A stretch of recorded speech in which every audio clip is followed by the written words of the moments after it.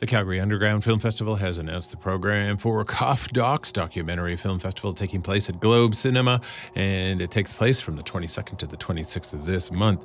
Of the film screening this time out, there's a Canadian feature called Boil Alert about activist Layla Staats, who shows the faces and personal stories behind the struggle of First Nations reserves to receive basic human rights, that is, drinkable water. Layla and Michelle Thrush, producers and also performers in the film, will be attending the screening. But first, let's have a chat with them about Boil Alert.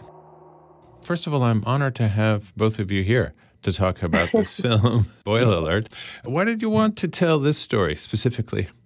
Good, Layla. For me, it it was a big part of my own story. So my own journey of kind of reclaiming this uh, this identity, this this pride and strength in in who I was as a as a Mohawk, which hadn't been taught to me as a child. But the water for sure was like a a big kind of calling, guiding force on that. And and you talked about uh, uh, Layla and Michelle, both of you, the fact that this subject has been addressed. It's been addressed in the news many times, and it's also been the subject of uh, more than one documentary film. But what I found compelling about Boil Alert is that identity is part of the catalyst as this story unfolds, as it pertains to water, but specifically in your case, that is being a Mohawk living in a, a a, town or a city growing up in Brantford. Um, why did you feel compelled to go to the reserve and cross that line into a, a different world and, and then subsequently tell this story?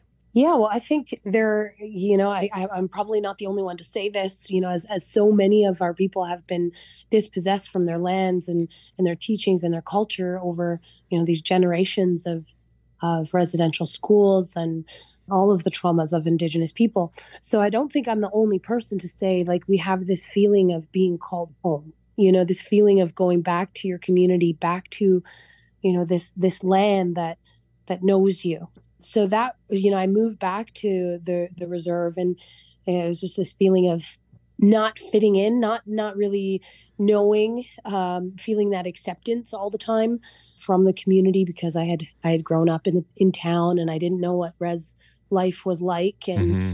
so yeah that was a, it was an interesting point when i when i was first started making the film was like this feeling of you know well how do i how do i find the place where i belong and as i went from community to community. I went to these reserves. I you know we we uh, a lot of the times we weren't in a hotel. We were living in a, a home in the reserve and seeing it firsthand with my eyes seeing the impact of the indigenous struggle and how you know seeing these generations of trauma it changed me as well. It was it was like this this experience of you know not being able to not being able to unsee this and and also finding you know i am meant to tell these stories um, a lot of those interviews and conversations they just happened organically of you know me sitting at their kitchen table and genuinely listening and there's a fascinating, and I'll address you, Michelle, with this. There's a fascinating way in which this story is told,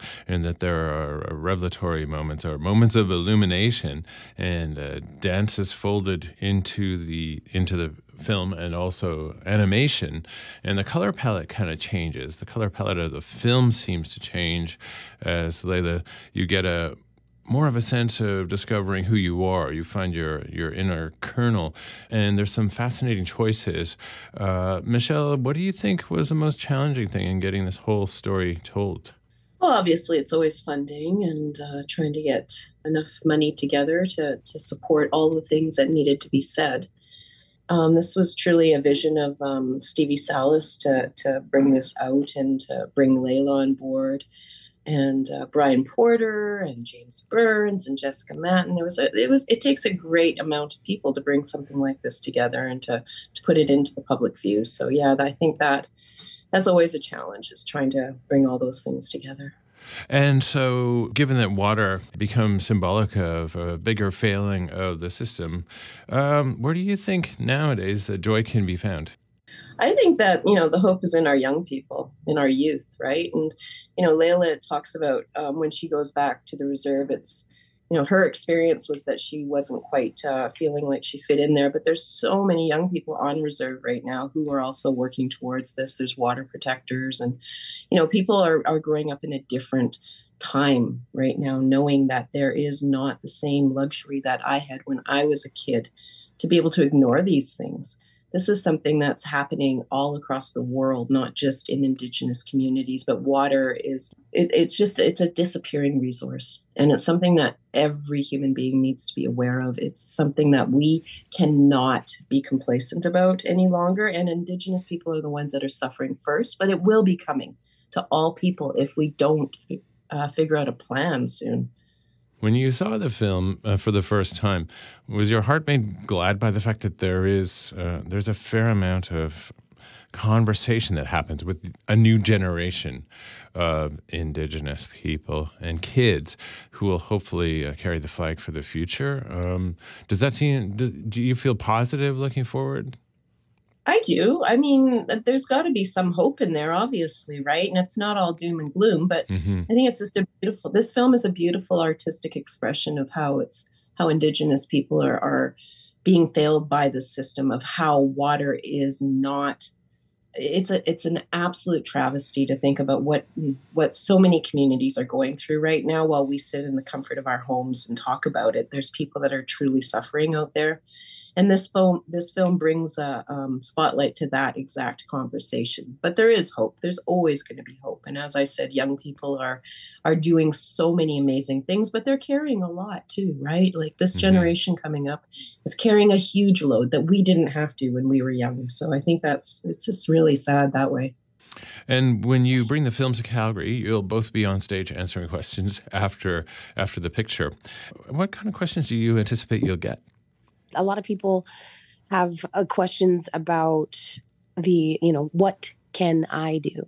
You know i remember i was i was speaking at a school for a grade five class and this mm-hmm. little grade five girl comes up to me and she says you know what? I she's like i'm only in grade five. I don't have any political contacts.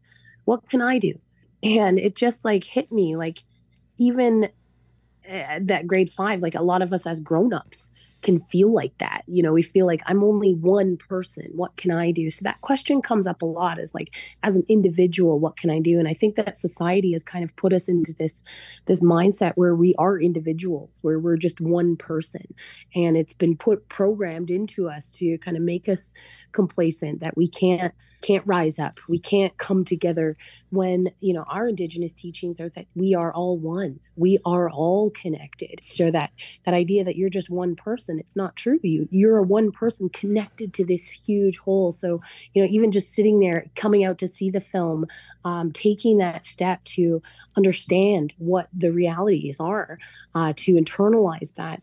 Uh, and I think my hope is you know that every single butt in that seat is changed. And for me that's hope you know like we can one person at a time that sees this film feels the true emotion behind uh, what's going on in these indigenous communities uh, and they're they're not willing to be complacent. They're not willing to, uh, you know, just bury their head in the sand and pretend it doesn't exist anymore because of that emotional link that happens in the film that that was just created so magically by this, you know, the production team and everyone coming together uh, for uh, for this very unique, very unique documentary. Well, here's to you, Michelle and Layla, for bringing this magic to the cinema as part of CUFF Docs, um, the documentary film festival, and that's coming up on Saturday.